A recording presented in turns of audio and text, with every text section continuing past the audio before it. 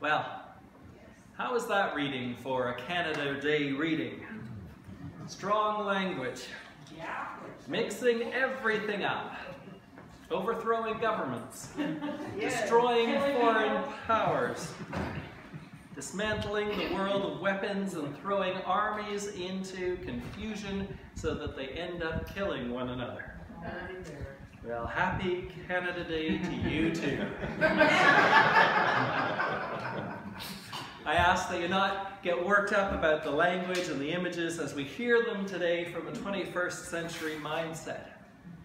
These are ancient images, ancient metaphors actually, that numerous commentators remind us are actually Messiah language. The language that's used to talk about what will happen as God sends forth a much awaited Messiah. Throughout this book of Haggai, there has been one call, one claim. And as we've been going through this eight part sermon series, and we're on part seven now, you'll remember what that claim is. Right? People of Israel, come and rebuild the temple. Make it clear through your actions or your life that God is important to you. Here is the last prophecy, and we're reminded of a claim that has been made to the people, a claim that God desires to be with the people as well, that God will send a Messiah. As I've said all along, this message is just as clear and meaningful today as it was when Haggai first delivered it people of faith, it's time to rebuild. It's time to show that God is important to us, to draw close to God once again through new ways. God still wants to be close to us. But as we are post-Messiah people, meaning that we believe that the Messiah has already come through the person of Jesus, we have the Holy Spirit with us. We are already in that place of knowing that God is with us with the Holy Spirit. It's time to rebuild the temple. It's clear that we are no longer in the heyday of religious practice and connection anymore. As evidenced by the building that we're in right now, this very building. A building with a sanctuary that seats approximately 800 people, and at one time would have been largely filled every single week. Overall, within the larger church, our rituals of worship have become outdated, at the very least, meaning, meaningless to some. But to many others, have become very painful signs of and reminders of abuse and of judgment and of isolation. It seems that today people would much rather go to the cottage or go shopping or spend a day by the pool than coming together in community and worshiping God. It's a time to rebuild the temple. As we look back over history, it seems that about every 500 years, there's a time of reformation that takes place within the church community. Our last major time was with Martin Luther, the founder of the Lutheran denomination, not the American civil rights activist. At that time, there was a great need to create options, to create divisions within the church as people broke away from the feel and the control of the Catholic Church. Since then, we have spent endless hours in debate over our differences, what sets us apart from other believers, and why we're bound for heaven when others are not. No wonder why the church is in the state that it is in today. Today, our congregations, our worshiping church communities are drastically smaller than they have ever been during our lifetimes. So what do we need to do? We actually need to do the opposite of what was needed when Martin Luther was doing his work. And instead of looking at our differences, we need to recognize our similarities the things that we hold in common. Furthermore, I believe that in today's call to rebuild the church, that we're being asked to do this not only with those from the Christian faith tradition, but from others as well, from all those who experience God in any way, through different forms of religion and belief. I strongly believe that as people of faith in 2018, we are being called to tear down the walls and divisions that block us from getting to know one another, to glimpsing God and seeing and experiencing God as others experience God. And if we are confident in our own faith, in the place where we come from, in the path that we are on, then this can only help us to grow spiritually. But that's kind of the larger picture. There are smaller steps that we need to take as we continue on this journey. Brene Brown, in her latest book, Braving the Wilderness, speaks about the absolute impact and value of connecting to others and how this often helps and happens through shared experience. As the regular, anybody who has come to this church over the last period of time and the regular congregants have experienced versus the irregular congregants, things that you say and you think, whichever they may be within MCC. But as people have heard, you know that I find great truth in the writings of Brene Brown. I've delivered one sermon series in particular on her writing. And once again, find that there's truth in what she shares because it's simple and it's straightforward and it rings true over and over again.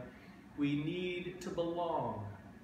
We need to find ways to connect in meaningful ways. She speaks about the power that she feels and the pull that she often has felt to go and to gather, to be with others at church, to sing and to pray, especially at times of disaster and of grief.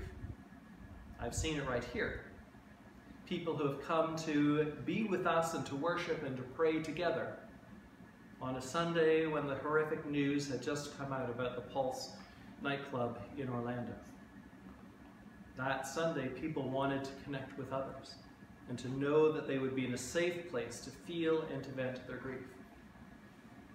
In her book, she gives a number of examples of shared experiences that she's had and that have touched her in meaningful ways. Attending a concert with her brother and her sisters, and singing with absolute abandon, and having one of them tape that experience or to record it and then to share that with them so that they could see themselves in the moment. Feeling closer because of the love of the music and the magic of the moment. Sharing feelings of grief with other moms over the Sandy Hook school shooting. Gathering on the roadside with others at the time of the explosion of the Space Shuttle Challenger. Different experiences burn themselves into our mind and into our collective experience, our collective consciousness. And this is often spoken about, we often speak about it after as a, do you remember where you were when kind of experience? For example, where were you when the two planes crashed into the trade towers? In that particular example, I remember my own experience of longing to be with others, to show solidarity with my cousins to the south, to stand in outrage at the useless loss of life and the destruction of two landmark icons in a skyline that was world famous. When these things happen, we need to be together. She writes, being alone in the midst of widely, report, widely reported trauma watching endless hours of 24 hours news, or reading countless articles on the internet's the quickest way to anxiety and to fear, to have it tiptoe into your heart and plant the roots of secondary trauma. How we combat this is by showing up, not just physically, but emotionally, choosing to engage and to take part, not just be bystanders in life but instead of staying on our own and isolating, to reach out and to become part of a group, a committee, a church. To gather where people are gathering to share their grief, to share their experience, to share their love. This is an important lesson for us all, one that goes well beyond the circumstances of traumatic societal changing events, but touches on every aspect of life. We need to practice connection. This goes hand in hand with what we were talking about last week, disconnecting from our technology and in particular our cell phones so that we can connect with one another. But it takes the idea further and it develops it, reminding us that we need to be open to those moments where our lives can touch and be touched by others. We need to choose to show up and to engage fully in the moment, in what's happening. As Brene writes, we need these moments with strangers as reminders that despite how much we might dislike someone on Facebook or even in person, we're still inextricably connected. And the more we show up, the more difficult it becomes to deny our human connection. The reason why this has value is that when we gather, when we connect and share an experience, we feel the sensation of the sacredness that happens when we are part of something that's bigger than ourselves. I'm reminded on this Canada Day that this can even include experiences like going to watch fireworks with others, attending civic functions, engaging in smaller art groups and taking part in art shows with others. Holding hands with strangers is a way of helping us to remember the amazing power of the most rudimentary aspects what it means to be human, to be people of God. That we must be connected. and we must work at maintaining that connection with others. If we're going to rebuild the temple, find new, meaningful ways to bring God back into our own individual lives as well as the life of the church. We need to continue to find ways to connect.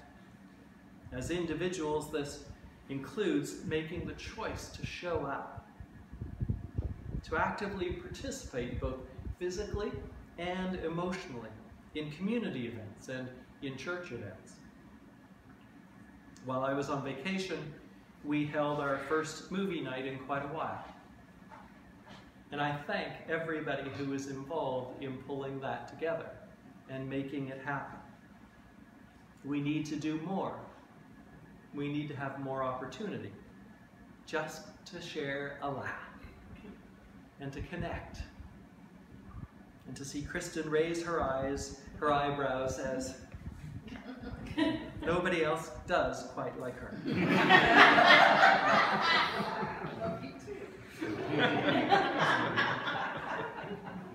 As a community, we need to actively seek out and create ways for us to provide opportunities for others to feel a part of something bigger. Something that's real and something that's positive and at times something that can help people deal with their own individual and collective grief. I've spoken about it before, but for us to do this, we need to have the courage to be vulnerable. It's scary to do things with strangers, let alone hold hands with them. But I can guarantee you that it provides the greatest chance or possibility of new personal growth not to mention new possibilities for us as a congregation as we fix the fabric of society and rebuild the temple together. Amen. Amen.